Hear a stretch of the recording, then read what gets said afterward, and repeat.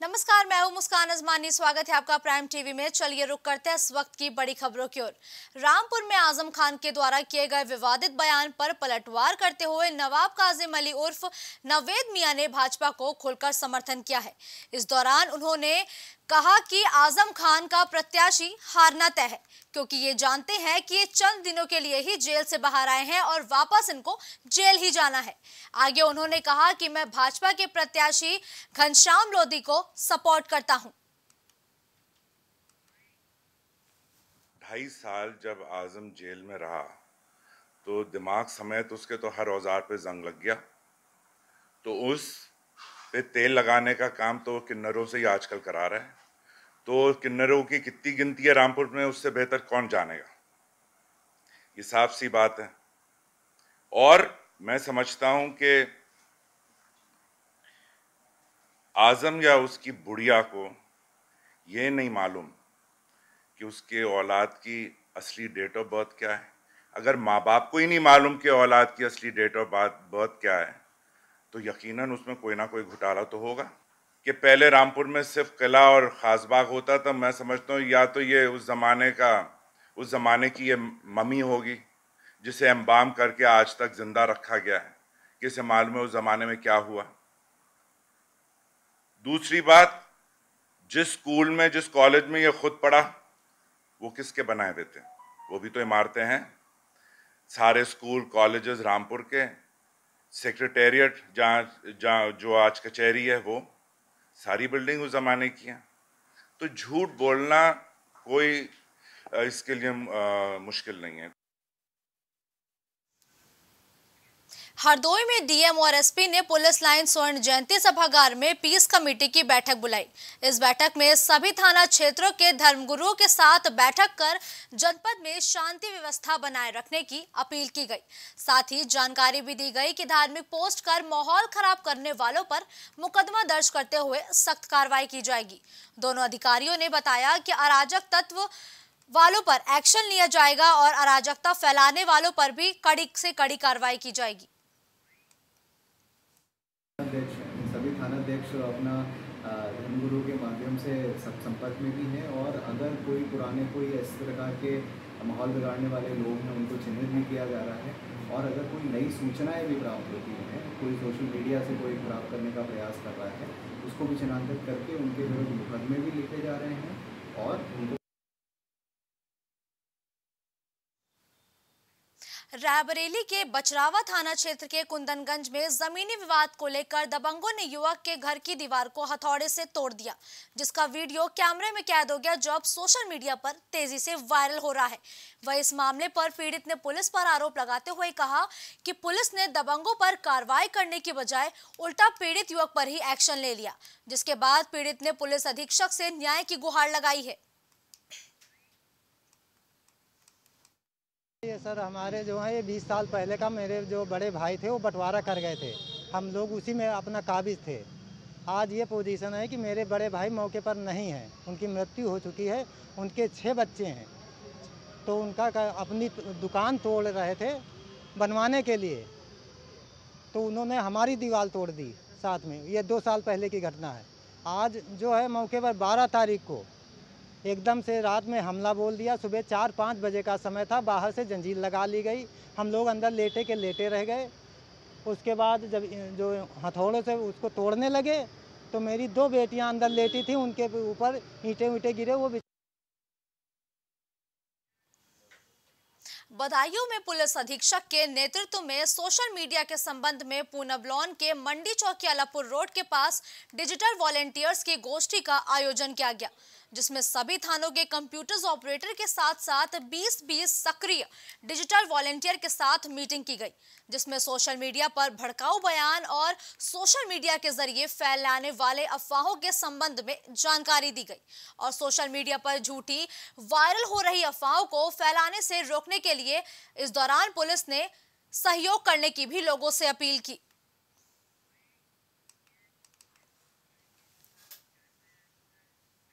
सूबे के मुखिया योगी आदित्यनाथ के आदेशानुसार शांति व्यवस्था बनाए रखने के लिए बदायूं के थाना उस हैत में भी सीओ उजानी, सुबेंद्र गोपाल और एसडीएम दातागंज द्वारा बैठक का आयोजन किया गया, जिसमें कस्बा उस हैत समेत आसपास के इलाकों के ग्रामीण भी मौजूद रहे। इस दौरान सीओ ने बताया कि अगर किसी भी प्रकार की कोई समस्या आती है तो आप लोग तत्काल हमें या फिर अपने थाना प्रभारी को बता सकते हैं, जिससे जनपद में शांति व्यवस्था बरकरार रहे। थाना उसैत में मैंने एसडीएम दातागंज में थाना अध्यक्ष उसैत इन तीनों ने मीटिंग करी हुई है। ये पीस कमेटी की मीटिंग है अमन शांति के लिए जो कि जैसा कि माहौल चल रहा है राज्य में उस संबंध में जो यहाँ के लोकल मौलाना है मौलवी हैं इमाम हैं उनके साथ में पीस कमेटी की मीटिंग करी गई है। उनको निर्देशित किया है जो भी शासन की मंशा है शासन की तरफ़ से निर्देश निर्गत किए गए हैं कि लाउड स्पीकर के संबंध में और ज़िले में धारा एक लगी हुई है और अन्य परमिशन के लिए जो भी शासन दिशा निर्देश आए हैं उस संबंध में इनको अवगत कराया गया है कि ये लोग आगामी दमाश जो होने वाली, उस संबंध में अपनी शांतिपूर्वक व्यवस्था कायम करें और हमारी तरफ़ से पूरी सुरक्षा गोंडा में डीएम की अध्यक्षता में विभागीय कार्यों और राजस्व वसूली को लेकर मासिक समीक्षा बैठक हुई। बैठक में डीएम ने सचिव मंडी समिति के साथ समीक्षा की और बैठक में सिंचाई विभाग, मंडी समिति, श्रम विभाग, स्टाम्प, वाणिज्य कर विभाग, वन विभाग, अवैध कब्जा को लेकर भी चर्चा हुई। बैठक में जिलाधिकारी ने मिली शिकायतों पर एक्शन लेते हुए उनका समाधान करने की भी बात संबंधित अधिकारियों से कही। इसके अलावा खनन विभाग की समीक्षा पर असंतोष व्यक्त हुए खनन अधिकारियों को कड़ी फटकार भी डीएम द्वारा लगाई गई है।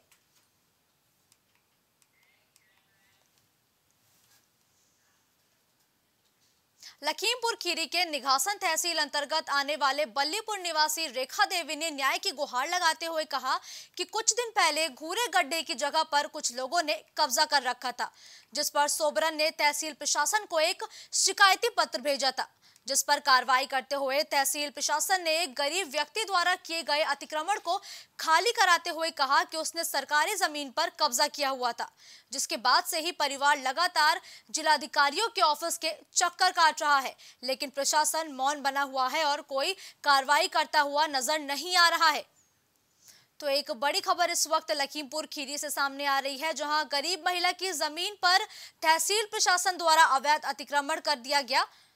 जिसके बाद से ही पीड़ित महिला लगातार न्याय की गुहार लगाने के लिए लगातार तहसील के चक्कर काटते हुए नज़र आ रही है। वहीं अब उस पीड़ित पीड़िता ने ज़मीन विवाद के निस्तारण की गुहार जिलाधिकारी से भी लगाई है। हमारा घर बना था उसको हटा दिया गया। हाँ। दूसरे लोगों ने कब्जा कर रखा है। सरकारी ज़मीन पर उनका नहीं हटा है। अच्छा आपने तहसील प्रशासन को कोई शिकायत की? हाँ दो चार दो चार बार निघासन भी गई। वहाँ से कोई कार्रवाई नहीं हुई। अब यहाँ लखीमपुर आई हैं? लखीमपुर चार पाँच बार आ चुकी हूँ। इस खबर पर ज़्यादा जानकारी के लिए लखनऊ से हमारे संवाददाता धीरज हमारे साथ जुड़ चुके हैं। धीरज पीड़ित महिला ने जिला प्रशासन से न्याय की गुहार लगाते हुए क्या कुछ अपील की है और क्या कुछ ये पूरा मामला निकल के सामने आ रहा है? मुस्कान जी बता दूँ लखीमपुर। खीरी के निगासन निगासन तहसील क्षेत्र का मामला है, जहाँ पर कई बीते कई हफ़्ते से महिला बराबर जो है तहसील प्रशा तहसील प्रशासन के उसके बाद में अब जिला प्रशासन से न्याय की गुहार लगाई है तो कहीं न कहीं जो जिला तहसील प्रशासन की लापरवाही राजस्व की रही है बराबर ज़मीन की पैमाइश कराने के लिए अपनी अपनी जो ज़मीन है वो निकलवाने के लिए बराबर जो तहसील प्रशासन के चक्कर काट रही थी कई हफ़्ते से उसके बाद में जब वहाँ उसको न्याय नहीं मिला तो वो जिला प्रशासन के पास पहुँची। अब देखना ये जिला प्रशासन किस तरीके से महिला के साथ न्याय करता है। देखा जाए तो इस मामले को लेकर तहसील प्रशासन की एक बड़ी लापरवाही भी निकल के सामने आ रही है। जी बिल्कुल। तहसील प्रशासन की तो पूरी लापरवाही सामने आ-। आई है क्योंकि कई हफ़्ते से महिला जो है तहसील प्रशासन के बराबर चक्कर काट रही थी। अगर तहसील प्रशासन सजग होता और महिला की महिला का दर्द जो है समस्या तो कहीं न कहीं से महिला की जो समस्या थी, उसका निस्तारण हो सकता हो सकता है लेकिन लापरवाही के चलते महिला अब जिला प्रशासन, ज़िले, जिला पहुँची है, वहाँ पर गुहार लगाई अब देखना है जिला प्रशासन क्या करता है, क्या महिला को न्याय मिल पाएगा या नहीं। धीरज आप इस खबर पर नज़र लगातार बनाए रखिएगा, आप भी हमारे साथ आगे जुड़े रहेंगे।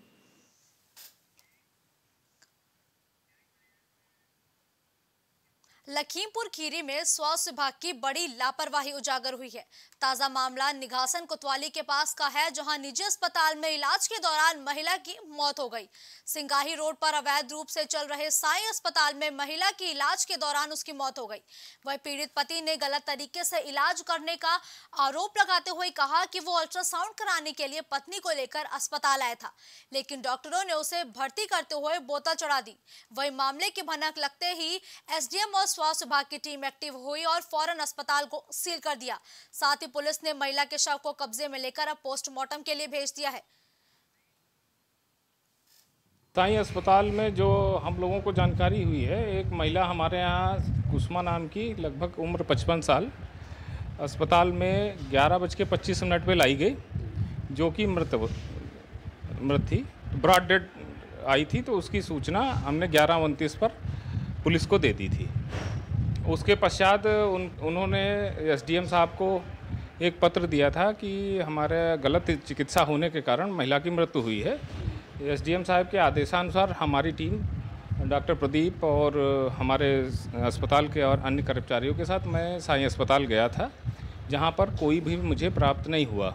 सिर्फ़ महिला जो जिसकी मृत्यु हुई है और उसके परिजन और काफ़ी संख्या में तादाद में जनता वहाँ इस खबर पर ज़्यादा जानकारी के लिए लक, लखीमपुर खीरी से हमारे संवाददाता धीरज हमारे साथ जुड़ चुके हैं। धीरज अगर देखा जाए इस खबर के सामने आने के बाद तो ये साफ़ तौर पर कहा जाता है कि जनपद में स्वास्थ्य विभाग की बड़ी लापरवाही देखने को मिली क्योंकि धड़ल्ले से लखीमपुर खीरी में जो अवैध अस्पताल है वो चलते हुए नज़र आ रहे हैं। जी मुस्कान जी बिल्कुल आपको बता दें लखीमपुर खीरी में इधर कई महीनों से जो जनपद में जो प्रसव के प्रसव के दौरान कई महिलाओं की मौत हो चुकी है। इससे पहले भी कई महिलाओं की मौत हुई है। जो मृतक महिलाओं के जो परिवार परिजन है उन्होंने कई बार स्वास्थ्य विभाग से शिकायत भी की है लेकिन कहीं ना कहीं स्वास्थ्य विभाग की लापरवाही सामने बराबर आ रही है।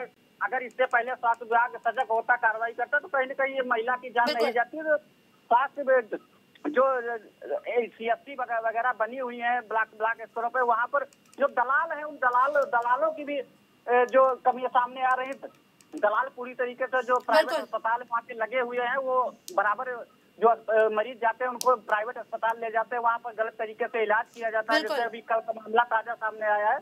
जहाँ पर मृतक के पति ने सीधे तरीके से आरोप लगाया कि गलत इंजेक्शन देने से जो जो है पत्नी की मौत हुई है वहीं पर अब सीएम से के तहरीर देकर कार्रवाई भी की जा रही है। तो कहीं ना कहीं स्वास्थ्य विभाग की लापरवाही लखीमपुर खीरी में देखने को मिल रही है। धीरे जगह देखा जाए तो अब स्वास्थ्य विभाग जब जाग गया है जब उसकी नींद नींद खुल गई है तो अस्पताल को तो सील कर दिया है लेकिन क्या अस्पताल का संचालक अभी तक पुलिस की गिरफ्त में आ पाया है? बिल्कुल, अभी तक भी जो अस्पताल का संचालक है, वो पूरी तरीके से फरार है कहीं न कहीं अपने आप को बचाने के लिए कहीं न कहीं नेता या कि स्वास्थ्य विभाग बड़े अधिकारी से वार्तालाप चल रहा अगर ऐसा न हो तो इससे पहले भी घटनाएँ हुई हैं। लोग बचते नज़र आ रहे हैं। बराबर घटनाएँ लखीमपुर खीरी में हो रही है। स्वास्थ्य विभाग की पूरी लापरवाही यहाँ पर है। धीरज अगर देखा जाए तो स्वास्थ्य मंत्री द्वारा लगातार जो कई जनपद है वहाँ पर औचक निरीक्षण अस्पतालों का किया जा रहा है। तमाम अस्पतालों का औचक निरीक्षण डिप्टी सीएम ब्रिजेश पाठक द्वारा किया गया। तो आखिर इतनी बड़ी लापरवाही फिर क्यों बढ़ती जा रही है लखीमपुर खीरी में? जी बिल्कुल जो स्वास्थ्य मंत्री उनके द्वारा तो बराबर जनपदों का दौरा किया जा रहा है लोगों को बताया भी जा रहा है डॉक्टरों को हिदायत भी जा रही दी जा रही है लेकिन लखीमपुर के जो स्वास्थ्य विभाग है वो लापरवाही है। इससे पहले भी कई अस्पतालों में मौत हुई है। प्राइवेट अस्पताल जो थे वहाँ पर अस्पतालों को सीज भी किया लेकिन सीज केवल कालन पूर्ति के लिए सीज किया जाता है। हफ़्ते दो हफ़्ते बाद वो अस्पताल फिर से चालू हो जाते हैं। तो धीरज आखिर इन सब में किसकी गलती मानी जाए? आखिर इस मृतक महिला की मौत का जिम्मेदार फिर कौन हुआ? वो प्राइवेट हॉस्पिटल जिम्मेदार हुआ या फिर स्वास्थ्य विभाग जिम्मेदार हुआ? कौन ज़िम्मेदारी लेगा महिला की मौत की? जी बिल्कुल। अगर स्वास्थ्य विभाग ये कदम पहले ही उठाता जो अस्पताल सीधे बराबर इनकी जाँच होती जो बिना बिना मानक के चल रहे हैं तो कहीं ना कहीं जब महिला की जान बच रही तो कहीं ना कहीं जो स्वास्थ्य विभाग जो इसकी लापरवाही सामने बिल्कुल आ रही है। धन्यवाद धीरज तिवारी इस खबर पर हमारे साथ जुड़ने के लिए और तमाम जानकारी साझा करने के लिए।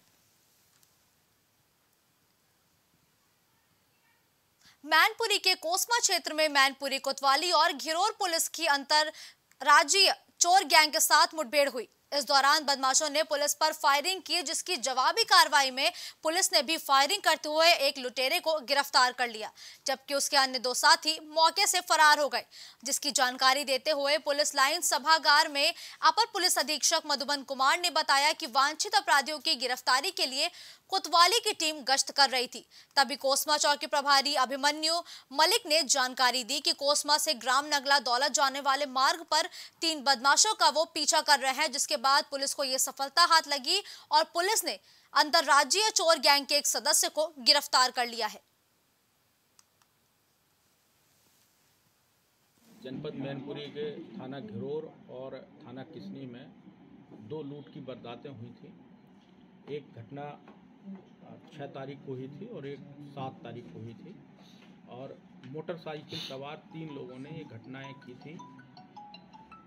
आज थाना कोतवाली पुलिस द्वारा अपनी सक्रियता के आधार पर और सीसीटीवी फुटेज के आधार पर इस गैंग के एक सदस्य को गिरफ़्तार किया है और इसको गिरफ़्तार करके इससे पूछताछ कर और जो लूट में माल था उसको बरामद किया है।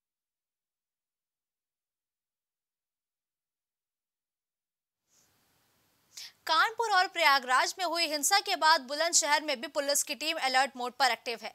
शांति और कानून व्यवस्था बनाए रखने के लिए पुलिस अधिकारियों ने शहर का भ्रमण किया।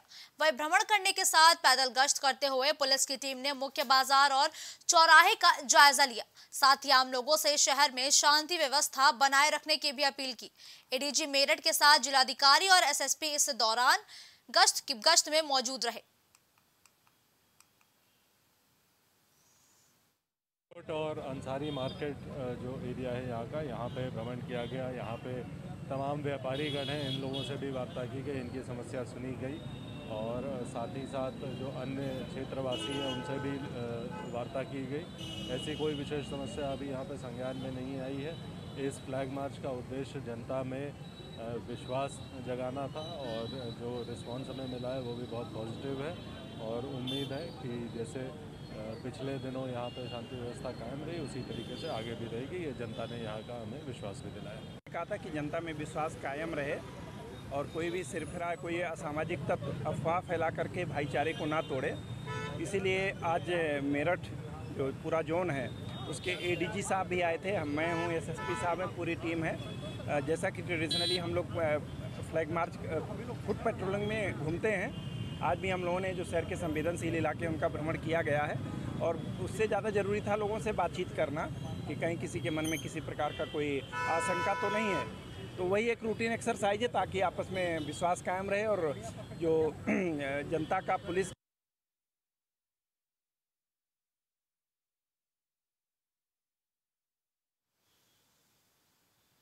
बुलंदशहर में इंसानियत को शर्मसार कर देने वाला मामला सामने आया, जहाँ लड़की के पैदा होने पर ससुराल पक्ष के लोग विवाहिता को अस्पताल में छोड़कर फरार हो गए।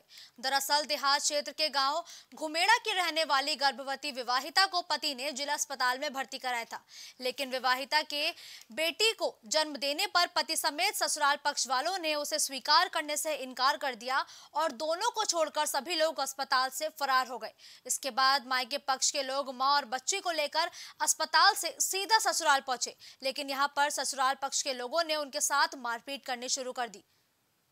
तो आप देख सकते हैं किस तरह बुलंदशहर में एक माँ की लाचारी की तस्वीरें सामने आई, जहाँ एक बच्ची के पैदा होने पर जो युवती का पति है और जो उसके ससुराल वाले हैं, वो बच्ची समेत बच्ची की माँ को अस्पताल में छोड़कर मौके से फरार हो गई। ये खबर 21वीं सदी में आप सुन रहे हैं। जी हाँ, बुलंदशहर में 21वीं सदी में एक इंसानियत को शर्मसार कर देने वाली खबर सामने आई है, जहाँ एक बच्ची के पैदा होने पर जो युवती है, उसका पति और उसके ससुराल वाले उसको अस्पताल में ही छोड़कर मौके से फरार हो गए हैं।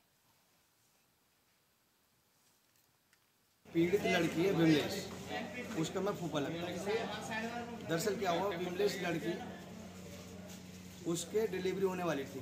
उसके ससुराल जनों ने उसे सरकारी अस्पताल में भर्ती किया लेकिन जब उसके पुत्री ने जन्म लिया लड़की ने तो उस कारण से उसके ससुराल वाले से छोड़ के चले गए कि हम बेटी को एक्सेप्ट नहीं करेंगे इसने बेटी को जन्म दिया। उसके बाद जब इनके घर वालों को खबर चली वो आए अस्पताल वो अस्पताल से बेटी विमलेश को लेकर उसके ससुराल महमदपुर गए अहमदपुर और वहाँ जाके उन्होंने उनसे बात बात करी।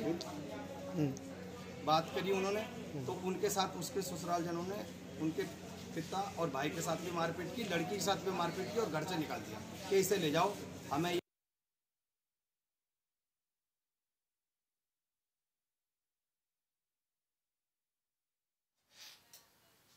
फ़िलहाल इस बुलेटिन में इतना ही। देश और प्रदेश की तमाम बड़ी और ताज़ा तरीन खबरों के लिए आप देखते रहिए प्राइम टीवी।